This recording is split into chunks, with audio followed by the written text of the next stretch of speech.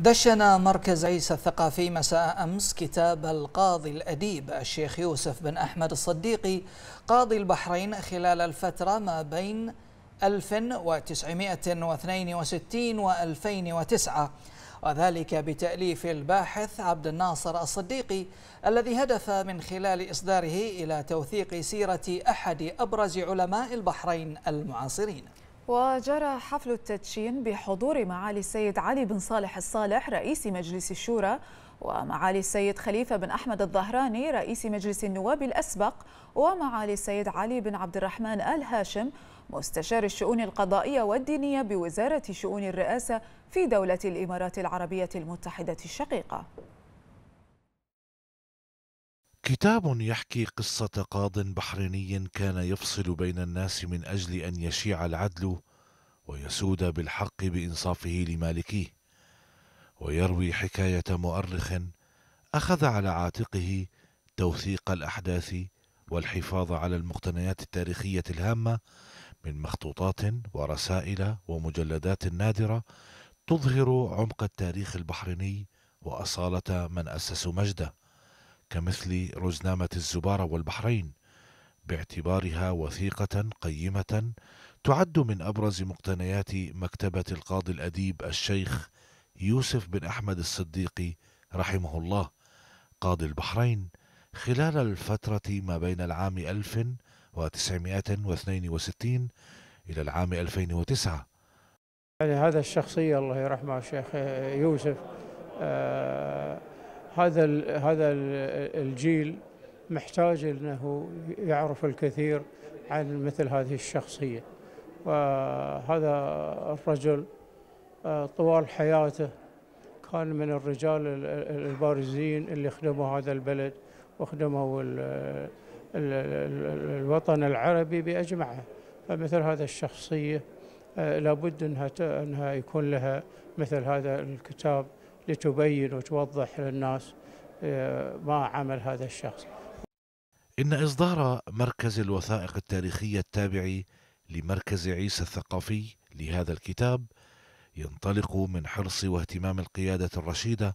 بتوثيق سير أعلام المملكة وتخليد إنجازاتهم الوطنية. نبرز مآثر هذا الرجل الشيخ آه، يوسف الصديقي لا شك أنها تعطي دلالة طيبة على وفاء أهل البحرين لعلمائهم وأولياء الأمور وكذلك أيضا تعطي مصداقية للرؤية الحكيمة للناشئة حيث تكون هناك القدوة القدوة والأسوة لأن الرسول صلى الله وسلامه عليه حث الناس على أن يكونوا قدوة. لقد كان لكم في رسول الله أسوة حسنة. مؤلف الكتاب السيد عبد الناصر الصديقي عمد خلال الحفل إلى تقديم عرض حول أبرز ما تضمنه الكتاب من فصول حول السيرة الذاتية للشيخ يوسف الصديقي رحمه الله ورحلته في طلب العلم والمعرفة التي كانت له فيها العديد من المحطات البارزة أسهمت في صقل شخصيته منذ أن بدأ في الثالثة عشر من عمره أي في لحظات سعيه الأولى بأن يصبح علما ناصع السيرة متسلحا بالعلوم الفقهية والقانونية وحتى الأدبية.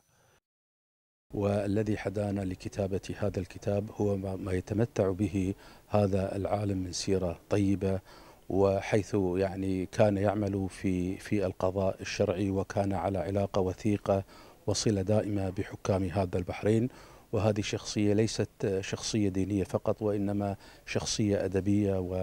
وشخصية شاعرة واهتمت كثيرا بتراث البحرين وتاريخ البحرين. الشيخ يوسف الله يرحمه يعتبر أول خريج في قرية الزلاق وعندما علم أهل القرية أنه سوف يحضر أو يأتي من السفر التقوا من خارج الديرة فقاموا يعني أعيان البلد وصلوا إلى خارج الديرة وهم يتبعون السيارة التي أقلته. في هذه الأثناء احتفلوا رفعت الرايات على كل بيوت القرية وفي نهاية حفل التدشين قام مؤلف الكتاب بالتوقيع وإهداء نسخ الكتاب للضيوف وللجمهور الحاضرين حتى يتسنى لكل الراغبين التوغل في سيرة الفقيد العطرة والاطلاع على منهاجه العلمي الرصين الذي أسسه بالاجتهاد والدراسة والعزيمة إضافة إلى التعرف على عمق العلاقات التي كانت تجمع الشيخ يوسف الصديق رحمه الله بحكام البحرين بدءا بصاحب العظمة الشيخ حمد بن عيسى آل خليفة طيب الله ثراه وصولا إلى صاحب الجلالة الملك المفدى حفظه الله ورعاه إلى جانب مشاركات الشيخ الصديق في مختلف الفعاليات العلمية المحلية والدولية لتلفزيون البحرين محمد رشيدات.